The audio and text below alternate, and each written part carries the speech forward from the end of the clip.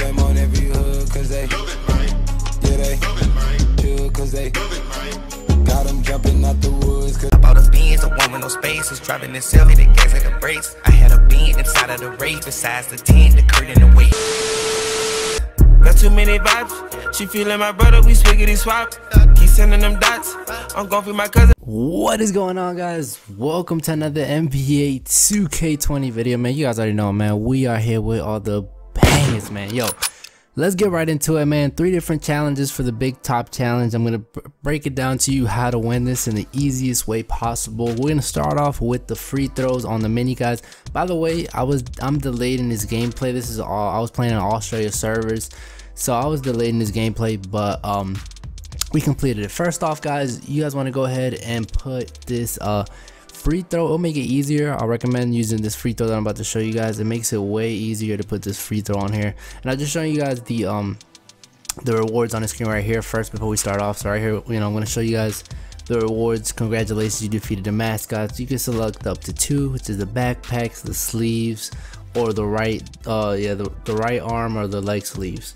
Um the the arm or the leg sleeves? My bad. Or 5000 vc or skill points. You know everybody goes for the backpack or the sleeves which i recommend you know the, the honestly the best rewards uh, uh, everything else really doesn't matter. But we're gonna start off with the uh free throws guys what you guys want to do is um i'll show you guys right now you guys see right here. You guys see how i'm doing it. So the key to this is man as soon as it gets to the top of your head like this looks easy guys but when i was doing it i was having such a hard time because like i said i don't know if it's because i was delayed and stuff but i recommend having uh derrick rose as a free throw. I put that on and it's made it way easier. It made it way easier to um to time it to time it honestly. So you guys can see right here I'm just, uh, you know, as soon as it gets to the top of my head and, and, and stuff and it vibrates on your controller, just let it go, let it rip, you know what I'm saying? It's the best tip for that. And then just try to, um, if you get early start, try not to rush because that was, that's, that's the trouble I was having. I was having good start sometimes and then I would rush it. You know what I'm saying? Uh, um, like I, I, would just, I wouldn't miss at first, and then at the end I'll just start missing because I was rushing it too much. Take your time. Don't look at the clock. If you look at the clock, you're gonna rush and you're gonna be missing. So best tip you have to get to 150 guys. Once you get past 150 you have to get three times. You have to do it three times to get to 150 but once you do that that's that's you know this this mission is complete you know what i'm saying? The next one guys is the trampolines. Now here the lineup i was running i was running with my two way slash and playmaker and then the other two um the other two boys i was running with they could catch alleys. You know, they could catch alleys. So all of our builds weren't shooting builds; they were dunking builds. And this is the easiest easiest way to beat these uh, AIs is just dunk. You know what I'm saying? So you guys can see right here first. I'm gonna show you guys the gameplay of the regular game. All I did, guys, was ISO, ISO the mascot, and then the other two people on the corners.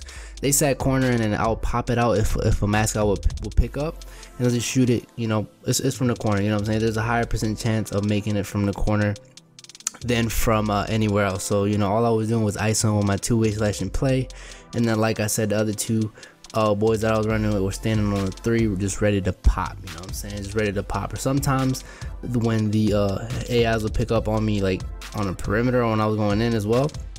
One of them would just go in and I would do an alley and then they'll just dunk right over. You guys see right there, that's what I'm talking about.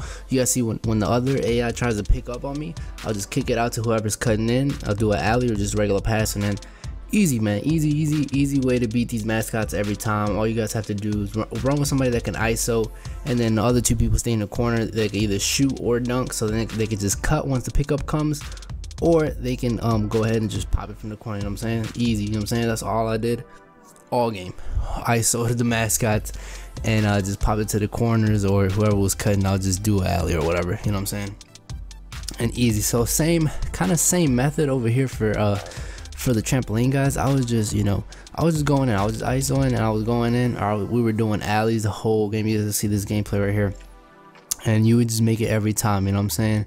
I was just going up on that little mascot and um you guys gonna see right here when we get this stop i'll show you guys exactly what we're talking about. So right here now once we go on offense what you guys want to do is make sure you have somebody that could dunk you know what i'm saying? You have somebody that could dunk and just keep going in on the little mascot. You, you guys gonna make every time you know and, and keep doing alleys you know? If, if, you got people that can throw you alleys make sure your teammates are always throwing you alleys and catch them. Or if you're the playmaker throw the alleys and um you know play with people that can actually catch you know catch all this stuff. Catch you know catch the passes and all that stuff. But you guys see right here that's all i was doing man. All i was doing was just going in on that little mascot. And then when uh, they would start double teaming i'll just alley it to somebody kick it out. Easy points man. Easy method guys. Easy method. Make sure you guys do this though. Um easy way to, to, to win big top. I noticed a lot of people are asking me you know the best the best like a lot of people are asking me to play big top.